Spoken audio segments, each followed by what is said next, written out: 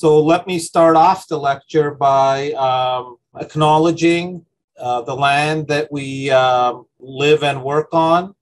We would like to begin by acknowledging that the land on which we gather is the traditional territory of the Haudenosaunee and Anishinaabe nations. The territory was the subject of the Dish with One Spoon Wampum Belt Covenant, an agreement between the Iroquois Confederacy and the Ojibwe and allied nations to peaceably share and care for the resources around the Great Lakes. We must recognize, like the peoples of the Haudenosaunee and Anishinaabe nations, that the dish represents a common area of land, and the one spoon means that we all have to share this land equally. We are grateful for the opportunity to meet here, and we thank all the generations of Indigenous peoples who have taken care of this land and recognize and deeply appreciate their historic and contemporary connection to this place. While, while an acknowledgement like this can be a good start, we encourage all of you to continue to learn about the land you are on and take action to decolonize. For example, we encourage you to learn more about the Dish with One Spoon Treaty and the Wampum Belt Agreement. You can do this by uh, checking out this interactive map um, at native-land.ca. Okay?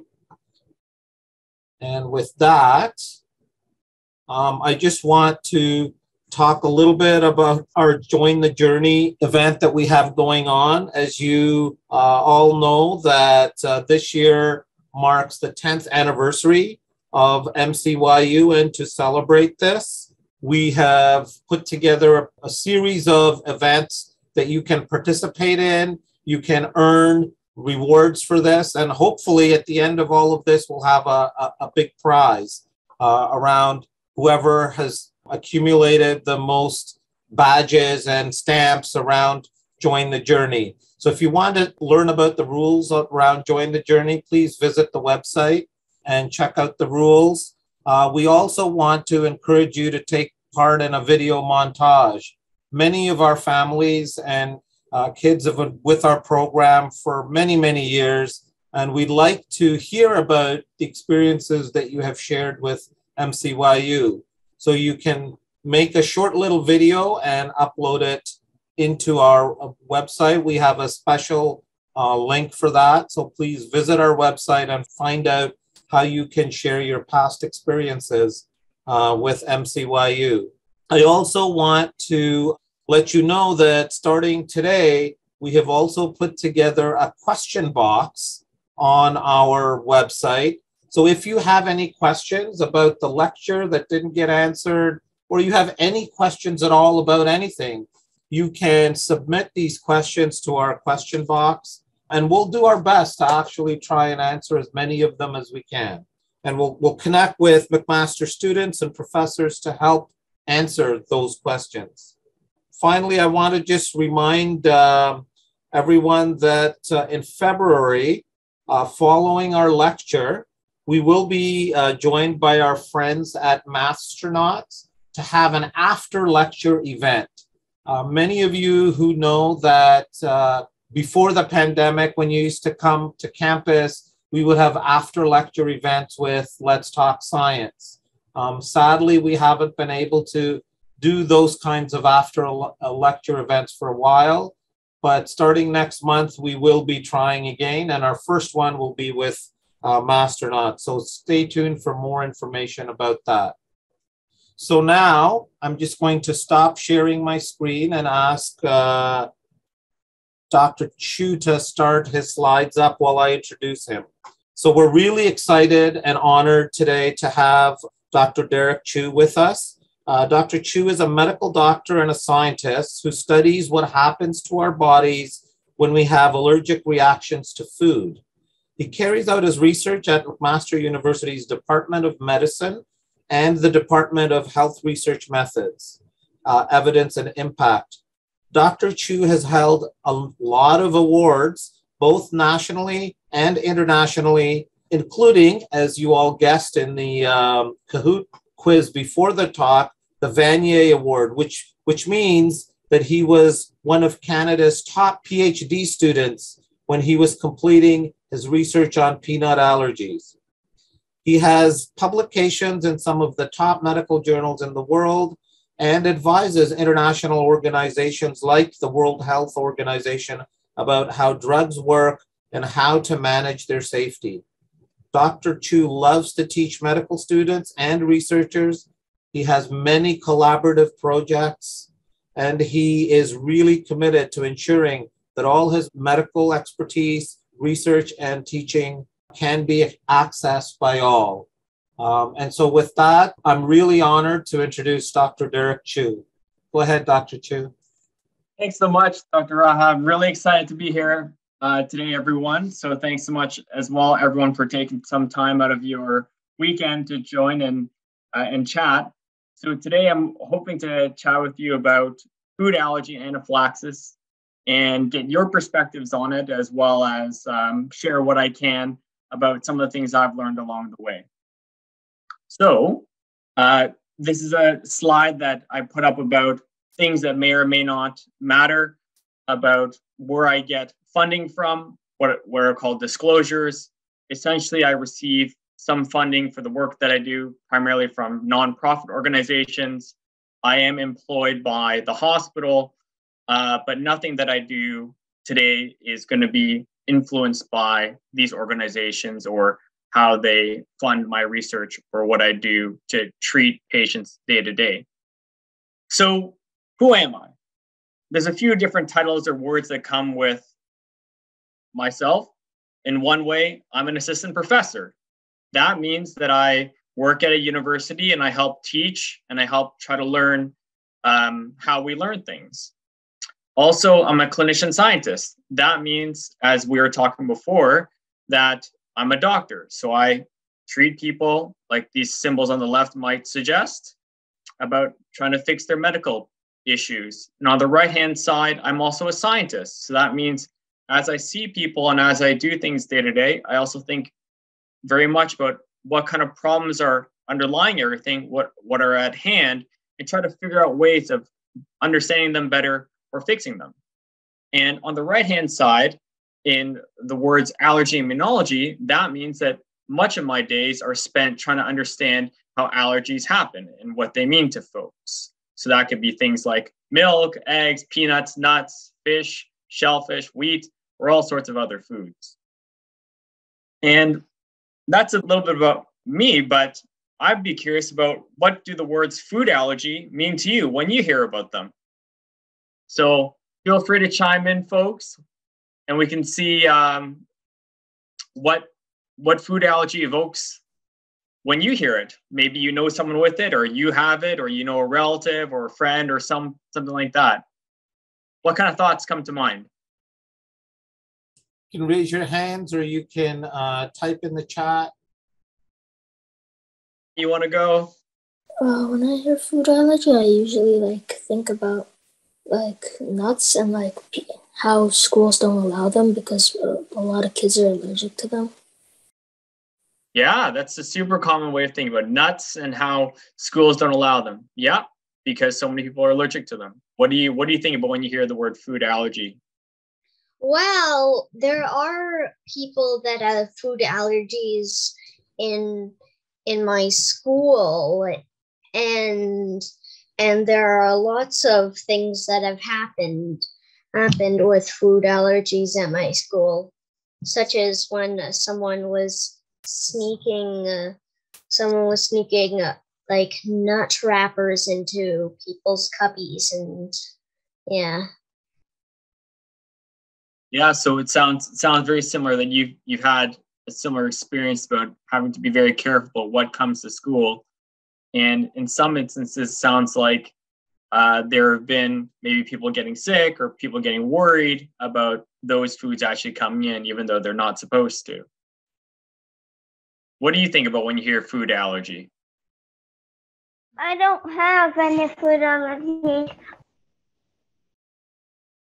There's Great some job. other there's some other um, comments in the chat as well about not being able to eat what they love, being allergic to specific ingredients. uh, worrying about uh, not respecting the reality of uh, allergies uh, for others. Yeah, and I'm hearing a lot about kind of avoiding things. Yeah. Um, or reading labels, being worried. Um, and as it turns out, a lot of those a lot of those things are completely normal. Those are things that I hear every day when I see patients with food allergy. You also want to share something. Yeah, you got it uh, right the first try. Not a lot of people do get that. All right. Anyway, um, when I hear food allergies, for me, uh, it means that people can't eat certain foods and it will trigger a reaction, like hives, for example. Um, when people get that, when they get sick from the food allergies, they need to use an EpiPen. Wow. Okay. Great. That's really advanced. I have a friend who has an EpiPen, so so you must be pretty familiar. I also think of food allergies as a restriction for they're not uh, people aren't able to eat certain things. It can get it can make them very sick. Yeah. It can be pretty serious. You're right. So everything that you guys are saying is is uh you may have heard of it through friends, through colleagues. You may have heard it some time ago in shows like Daniel Tiger's Neighborhood, where it seemed like he had to have a restriction because in this case he was allergic to peaches. And in the basics, yes, um, he had to be very careful about what to avoid to tell grown-ups if he ever felt sick because it can get serious quite quickly. And uh, in many ways, what you just said, what everyone said and chatted about, is very similar to my own experience. Um, sounds like Tina too, who wrote here in the chat that she has a tree nut allergy. In that I have a food allergy. I'm allergic to peanut. And so when I was growing up, I thought about many of these same things restrictions, avoiding things, being worried about getting sick. How do I travel? What do I need to worry about? What do I not need to worry about? People always telling me to worry when to me it didn't seem like that big of a deal, perhaps. Always having to say no to things. And this word called anaphylaxis, which seemed scary, but I wasn't sure exactly what it meant. Um, and pictures like this on the right, which seem quite dramatic. And I, I know I didn't want to feel that way, uh, but that I knew that if I was feeling wrong, then maybe I had to use things like the EpiPen or an epinephrine autoinjector. So let's try to demystify and untangle some of these these terms and words because they don't always what we what we think they mean isn't always uh, what they actually are. So food allergy, as you might imagine, is quite a common thing. It's quite a big deal. So even though many many folks might feel that they're alone in their struggles and, and alone in having to say no or avoid things, it's actually very, very, very common.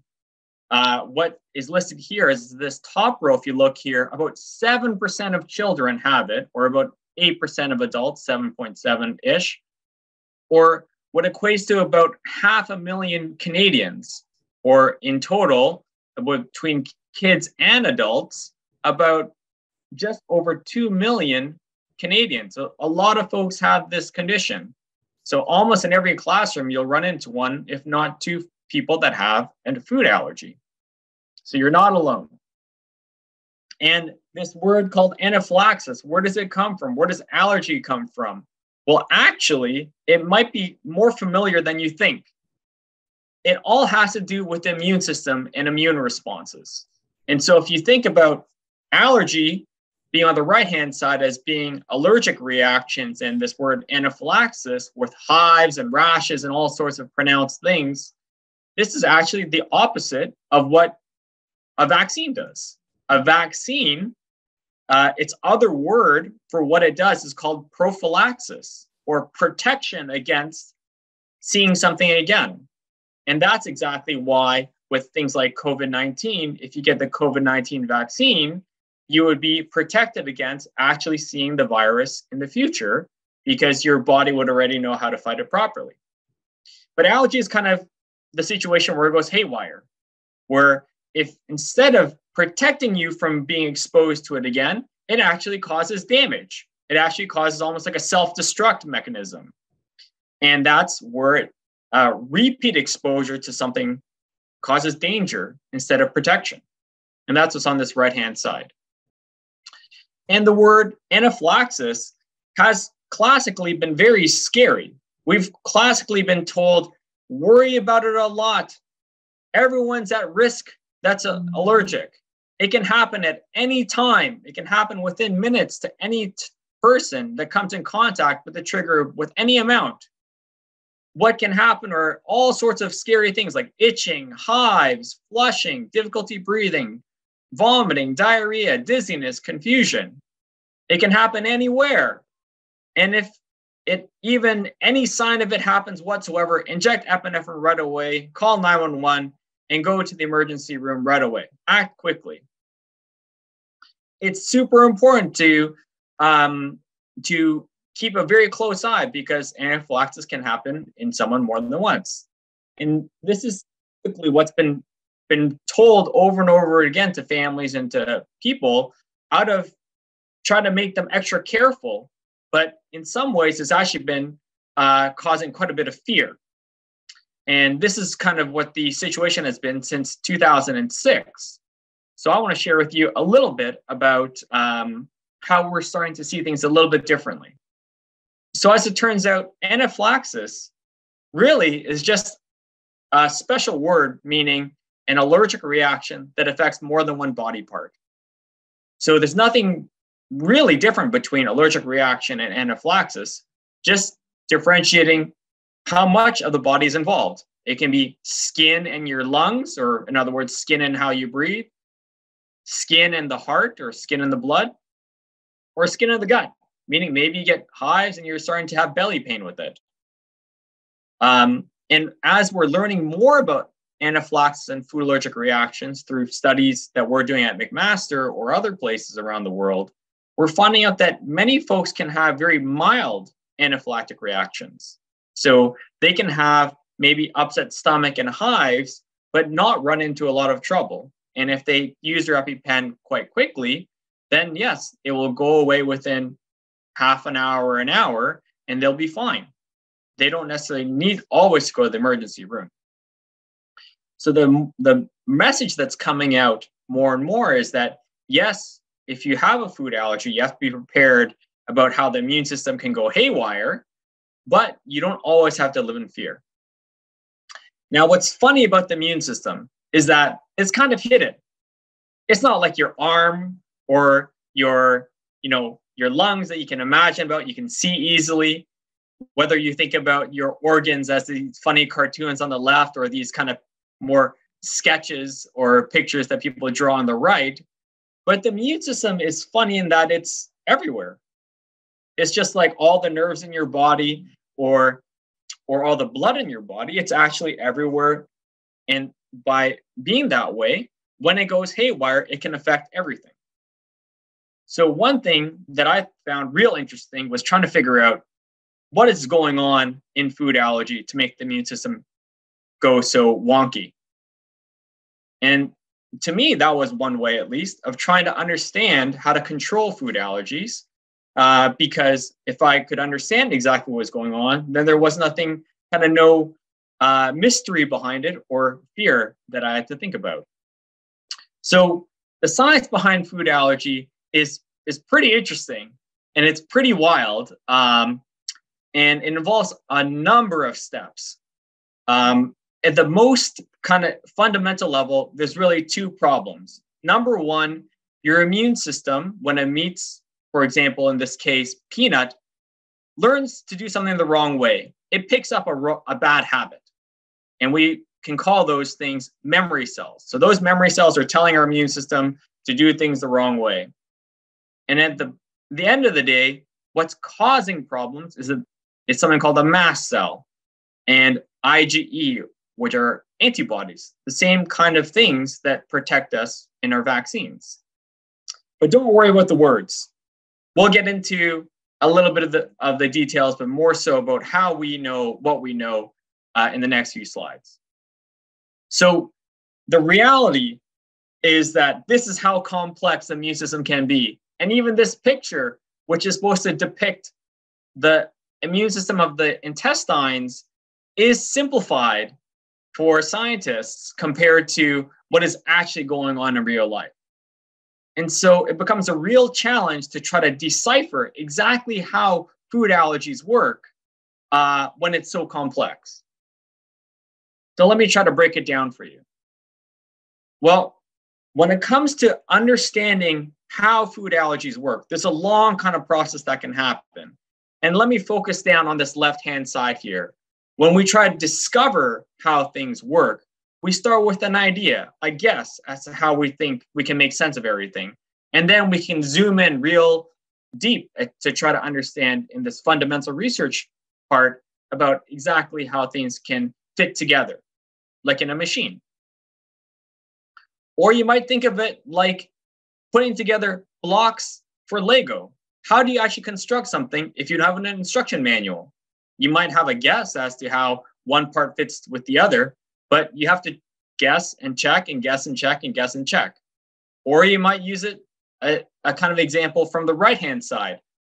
How do you create a this kind of marble playground and know how to get the marble from the start to the finish as it winds and twists through all the different pieces, and including understanding how each piece does a different thing. So if we bring that to the example of food allergy, we know that there's allergens, things like peanut, for example, and that if someone's exposed to it that's allergic, then yes, they could have an anaphylactic reaction. But what happens in between? And there's all these steps that that we can decipher. So these these top parts here, DC, which is conveniently my initials, T cell and B cell, all have to do with how we form memory. So don't worry too much about the individual words. But these bottom parts, as you can imagine, uh, communicate, they talk somehow with the memory portion of your immune system. And what they cause is that they have a knowledge or they've learned to react a certain way to foods, then they can cause anaphylaxis. They can make the body go haywire in some way. And so when we try to decipher exactly what goes on at each step, we have to check one by one how each piece fits with the other. A lot like those Lego pieces, or a lot like those uh, those marble blocks. We have to try it one piece at a time, take one piece out, see if anything changes, put one piece back in, add something else, see if something different changes here and there. And that tells us step by step um, what each piece does. What piece of memory is doing what function? Um, and can we uh, prevent anaphylaxis from happening in the first place? And some of the work that we've been doing at mcmaster has now shown that there are actually many many many many steps. There's all sorts of molecules with all sorts of funny names that all interplay and signal with one each other.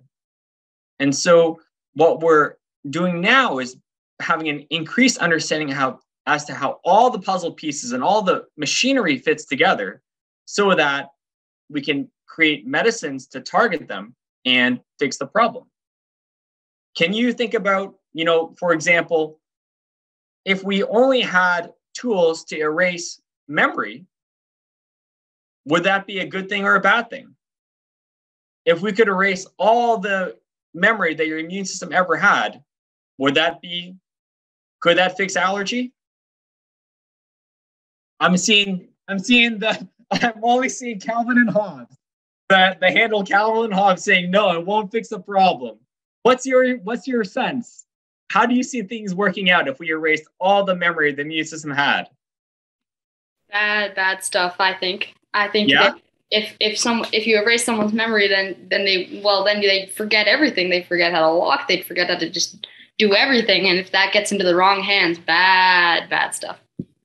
Exactly, exactly. So that's that's very that's just that sounds like a great point. If you erase how the whole body knows how to fight anything or have any immune function because it's there to protect us as well against infections, then we would lose our ability to fight infections and lose our allergies, which might not be the right trade off.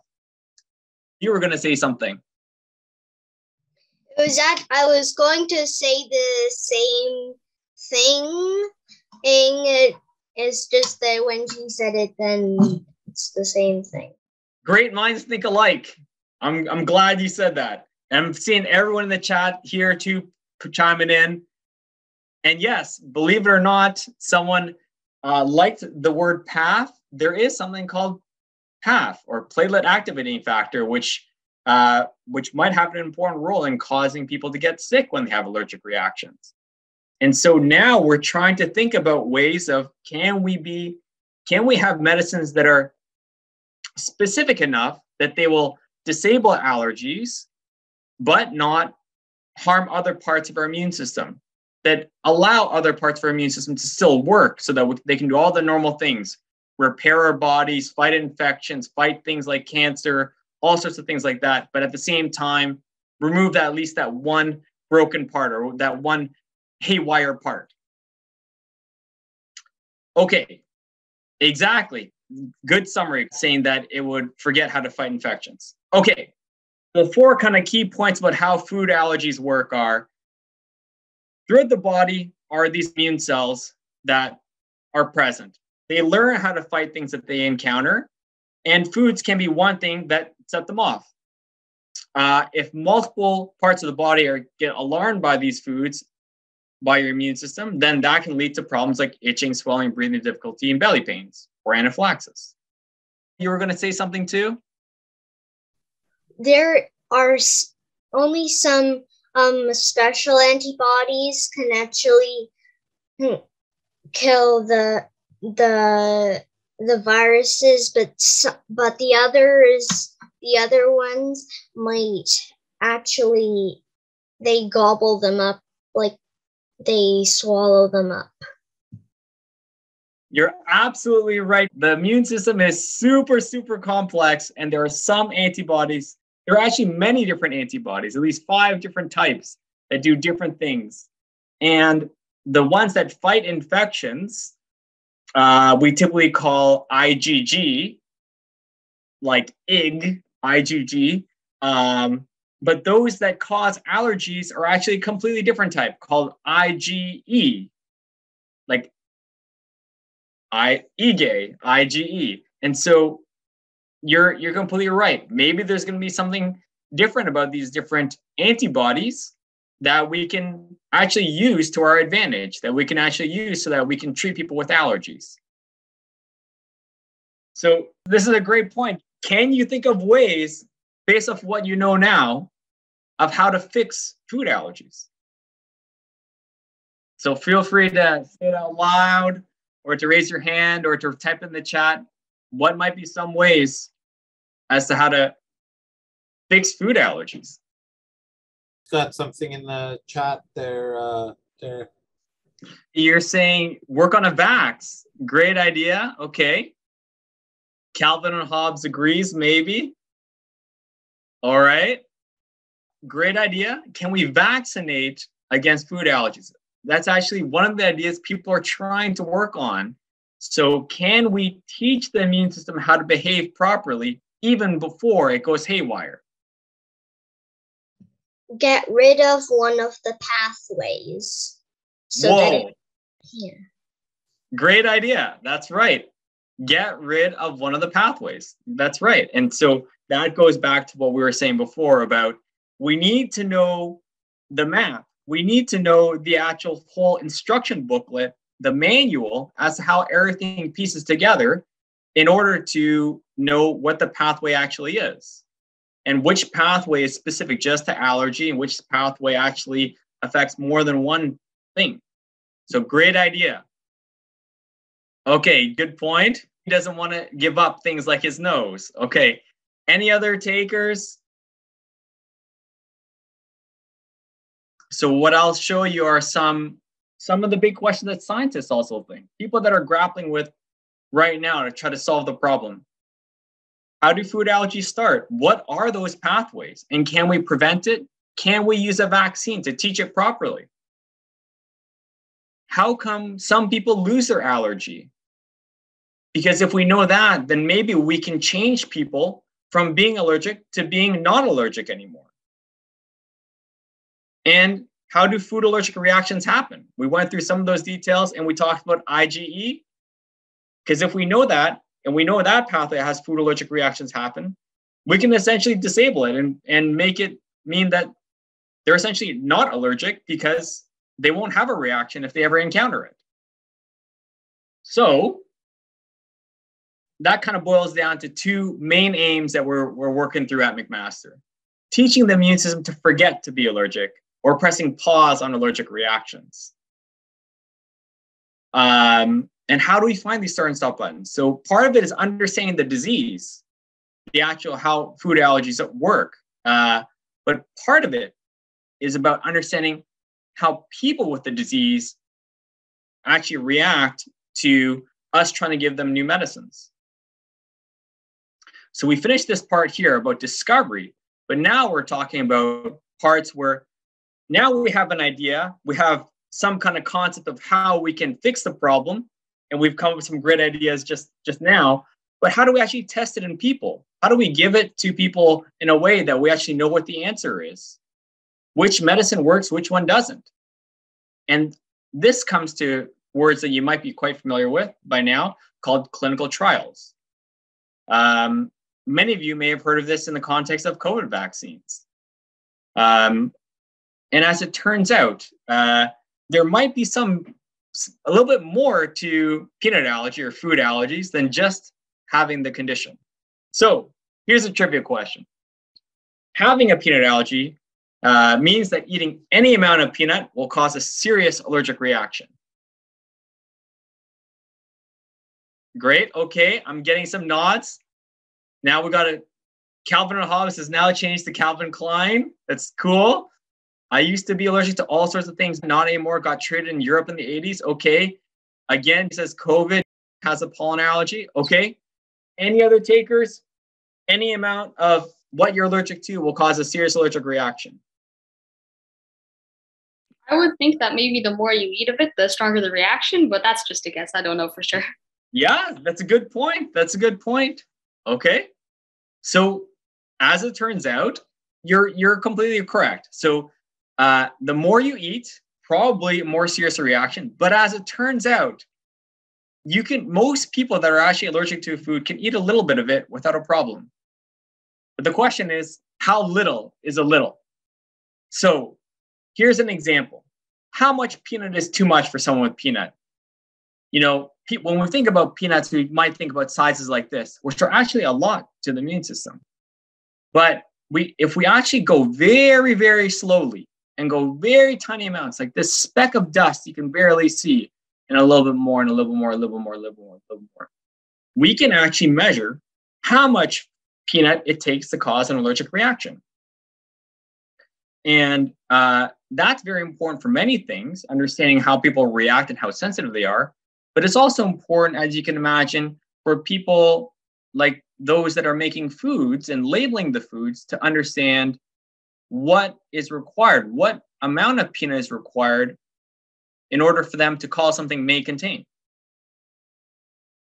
And so, what I do day to day in clinic is I do something called food challenge, where I measure everyone's sensitivity to what they're allergic to uh, so that we can quantify that and measure it and understand it better and understand their each person's experience. So, what happens when we feed people things that they're allergic to? Well, number one, it takes a lot of time because we go super slow and we go very carefully. We measure out every single amount that they're going to eat. But after doing thousands of people, we now know that about six out of seven of them won't have a reaction at all. They were not even allergic in the first place. But of the one out of the seven that do have an allergic reaction, most of the reactions are quite mild. They affect only one body part. And we can make them go away quickly by giving them medicines like an antihistamine, maybe a Claritin or a Reactine or something like that.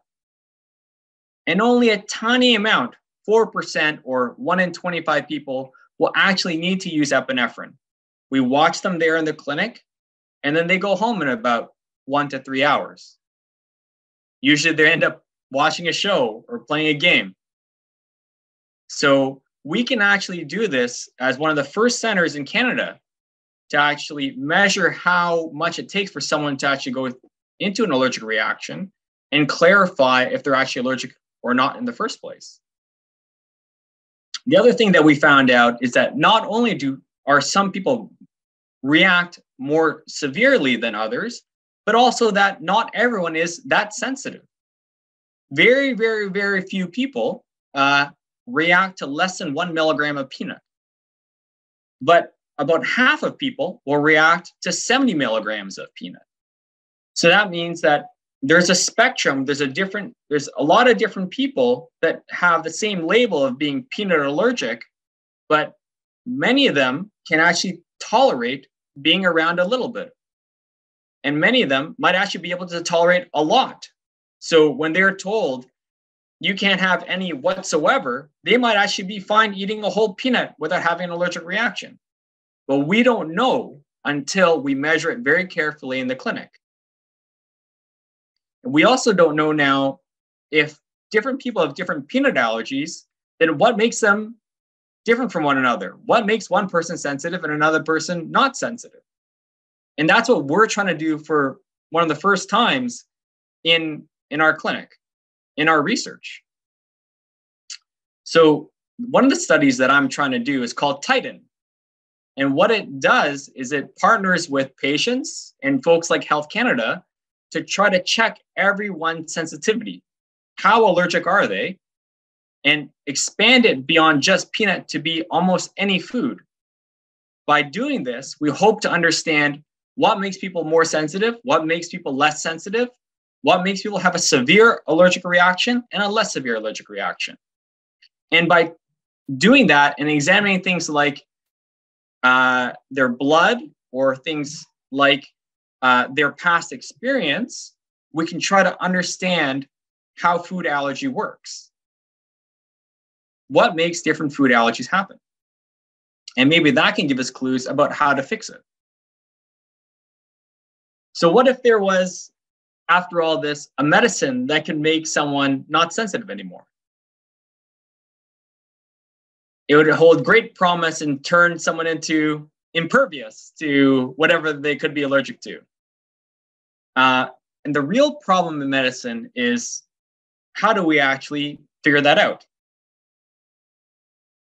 So there's different ways of understanding how a treatment might work, a treatment that's promising that we want to test to actually know if it works or not. So one way might be, for example, here to give the treatment to everybody, everyone that has the condition. The problem is if we do it this way, we have no one to compare to. We don't know who would have done better or who would have done worse. A second way is to give it to some people but not others and see and compare the people that got it versus those that didn't. The problem is, as uh, as you might imagine, um, if we chose who got it and who didn't, then maybe it's about the way we chose rather than the actual treatment. You can think about, for example, if you had, if you were choosing, you know, teams for a soccer match or something like that, if you chose all the best players, you'd have a better chance at winning rather than it just being about only those things that made them different. And so the best way actually that we do things in medicine to figure out how things, uh, if things work or don't work, if they're effective and they're safe, is to do something called a randomized trial. That means we take a treatment and we actually leave it to chance. We roll the dice every time and we some people get the treatment based off of how the dice roll and some people don't. Uh, and by doing it that way, we can balance or make it fair for everyone to have a good chance of uh, either uh, experiencing benefit or having some downsides from whatever the treatment is. And this is what separates out the facts that we know about treatments from things like opinions and less credible information. One of the things that you might have heard of from the COVID pandemic is that some evidence is more trustworthy than others. And at the crux of everything is the randomized trial, because they're the only way of making a fair comparison between two different groups. All the other words down here are great ways of making comparisons, but they'll always have problems in make in it not necessarily being a fair match. So here's a question. We can we can make fair comparisons, but we won't know what actually matters, what actually counts as a success. So what are the things that you would imagine would be important for someone with food allergies? Maybe if it's someone with peanut allergy, for example, would it be something like being able to eat all the peanut ever that they ever wanted? Being able to eat peanut uh, if it's fed to them by a doctor? Decreasing worry and stress? Decreasing the chance of an allergic reaction or something else? Which of these do you think would be important? And there's no right answer. Okay, I'm hearing one, being able to eat all the peanut ever. I'm hearing all of them are important. And is one more important than the other? Three and four, decreasing worry and stress, decreasing the chance of allergic reaction, less severe reactions. And now Calvin and Hobbes has changed to Calvin and the Chipmunk. Great. Okay. Um, okay, so great, great answers sounds like a lot of people value these two and this top one. Some people say all of them. The first one, because you don't have to worry and stress, have less reactions than other things. Okay, great, Kai, great, great response, everyone. Um, but believe it or not, the problem with the way medicine has been going about trying to understand food allergies is that they've almost exclusively been ignoring all of these. The only one they focused on is this middle one. This is what all the research nowadays has been focused on for the past, you know, 20, 30, 40 years. Great to know, but just from chatting with you now, doesn't seem to be what you want to know. So there's a disconnect. Let's go to the next one. Well, when it comes to a medication that's promising, what are the hassles and side effects that you'd be willing to tolerate? Would you want to eat a pill every day if the treatment worked? Would you want to drop under the tongue every day, almost like a vitamin? Would you want a needle once a month to keep your allergies away? Or what would you want? What side effects would be okay? If you had a lot of upset stomach, would you still want to take it? If you had an itchy tongue every so often, would you want to take it? Would you, if you got a sore arm once a month, would that change your mind? Or if the treatment itself actually made allergic reactions happen more, would that matter? What do you guys think? Definitely not allergic reaction to the treatment because then that just defeats the entire purpose of the treatment. Okay, very nice. Okay, good point. You would take the pill. Calvin and Chipmunks would take the pill. Okay. Any other perspectives? Feel free to chime in to see. Tell us what you think would matter. Some people like pills. Some people like drops. Some people like needles. Which is which is really great, you know. And uh, so one of the funny things that you might imagine is that uh, I'll let you go first. I think I would like to take the needle. Yeah, okay. Because first of all, it seems uh, effective for me. Yeah. Like uh, it protects that some needles have a specific uh disease to protect. For maybe it can do the same thing for allergies. Exactly. And second of all, every month would be actually nice. I wouldn't have to be remembering every day that I have to take a pill at a certain time because sometimes you have to take pills at certain times, otherwise, it won't work. So for me, it would be easier just to take the vaccine. Yeah, okay. Great points. How about you? What do you think?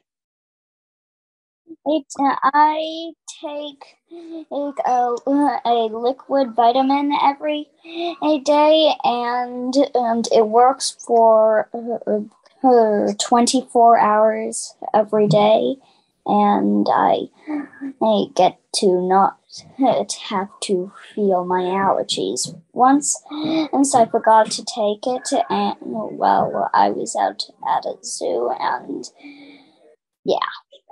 Oh boy. Well, it sounds like you're quite used to it though. So that's good. And what I'm hearing is that different people prefer different things, and different people are willing to trade different things for what might be effective. Though at least one aspect would be one one perspective might be if the treatment itself caused more allergic reactions, that might defeat the whole purpose. So those are all great points. And these are actually all the many of the different ways that we are trying to test medicines right now and develop them to actually find out what works and what is safe enough and is uh, the least disruptive to your life that it would actually work well for you. So one of the studies that we're trying to launch is called Trade to exactly tell you about those things. Those any treatment will have benefits, things that will help you, and they'll also have downsides, things that could be a hassle and inconvenience, or that might cause problems. And this is what we are trying to do in a randomized trial to actually change how sensitive people are, to bring people, patients like, or folks that you, like you or that you know, in to help design the study and tell us what's important and tr- test out these new treatments in a robust, strong way so that we can actually know which one is the better path to choose and at the same time learn something about how the immune system works. So, just like you guys were saying, food allergy can affect people in different ways, and treatments can affect and matter to people in different ways. So, for some people, they might be worth it, and for some others, it may not be. Some of you prefer needles, some of you prefer drops, some of you prefer pills. And so, what one big message that I have to say is that no FOMO. There shouldn't be any fear of missing out because we will be developing new treatments that try to fit and tailor everyone's preferences and values. And the big thing is going to be that you don't you're not missing out by uh, hearing about these new developments. But what the next generation you that you can do is get involved this will be the future that I think about food allergy.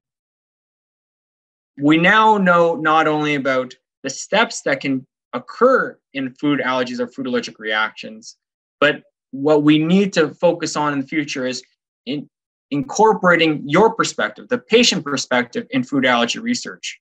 So this is going to be the future of putting you in the driver's seat, shaping what are the right questions, shaping what are the right criteria to call something successful. Uh, and I think partnering is going to be the way to revolutionize food allergy care in the future. So, to summarize, understanding food allergy is one way to control it. A lot of changes are happening. We're gaining a lot of new knowledge. And to me, I'm really excited about what the future holds. And at the same time, uh, what I know the priorities are going to be are number one, knowing how the process of food allergy works, but number two, knowing both the good and bad effects of any new treatments that come out.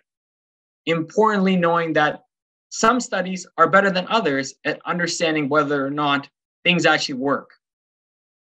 Titan and Trade are two studies that we're doing at McMaster to pave the way.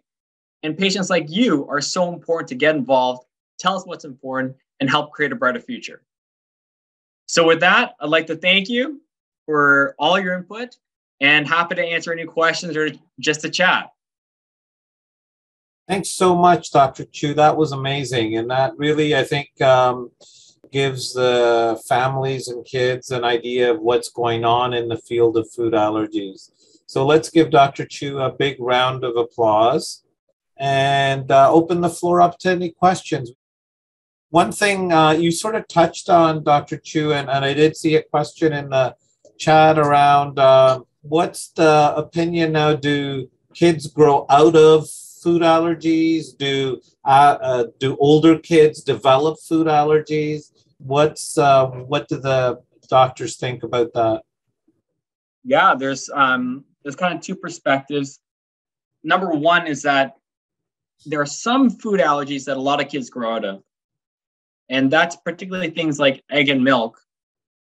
About we we typically th- think that about 80% will lose it by say age 8 to 10 the problem is that there's some suspicion that they're lingering around for longer nowadays into the teenage years and sometimes for life and we don't know yet is that increasing more or not and if it is why uh, other food allergies things like peanut and tree nuts and things like that even things like sesame allergies tend to linger for a lifetime and that's important to understand because we're trying to differentiate why is it that some people outgrow, why is it some people don't, and how can we use that to make people lose their allergies?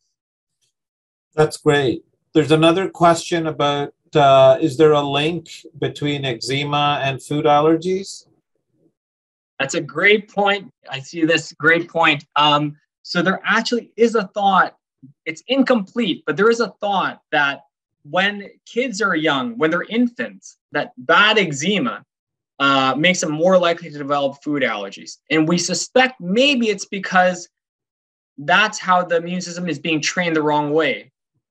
When we think about things like parasites or infections, they often enter through the skin, especially when we're ancient, when we're going back to Neanderthal days and so on. Parasites would often infect the skin. And so ways that we could try to learn to expel them from infecting us ever again in the future would be to get hives at those places, to push them away, push them out, and scratch them off. But the thing is, uh, nowadays, if people have bad eczema, infants have bad eczema, and maybe they're getting inadvertently exposed to foods at the same time, is the same kind of ancient machinery that our body developed to get rid of things being turned on is our body being trained the wrong way? And so eczema might very well be something that we can fix to prevent food allergies from happening. But the problem is that so far we don't have enough randomized trials and especially good randomized trials to know for sure if treating the skin would prevent food allergies. And that's one thing we're trying to set up at McMaster to do. Yeah, that's really important. Um, there's another uh, sort of more technical question in the chat about the correlation between IgE levels and severity of reaction. Yeah, thanks. Great point. And actually, uh, that's that's one of the big problems out there. These focus on the numbers sometimes. In general, there is a rough correlation that we think that the higher someone's number is, yes, maybe they'll have be at least more likely to be allergic to the food. But what we haven't been able to show, not in fact, we've shown the opposite. The guidelines that have been a part of and the, the reviews of all the data in the world have not been able to show that the level of the your IgE actually means how severe the reaction will be.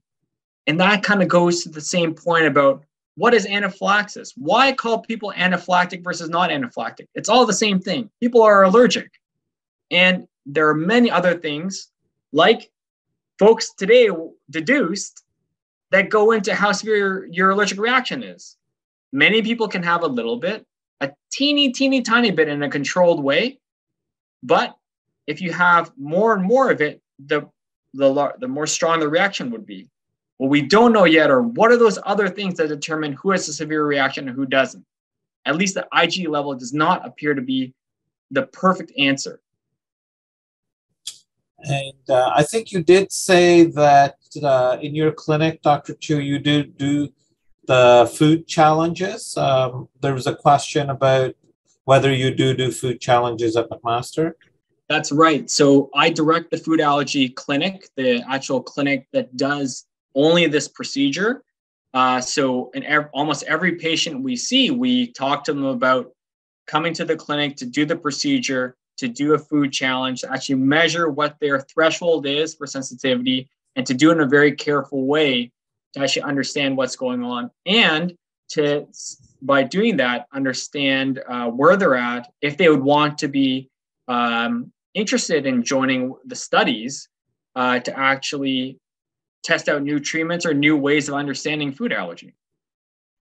Excellent. You have a question?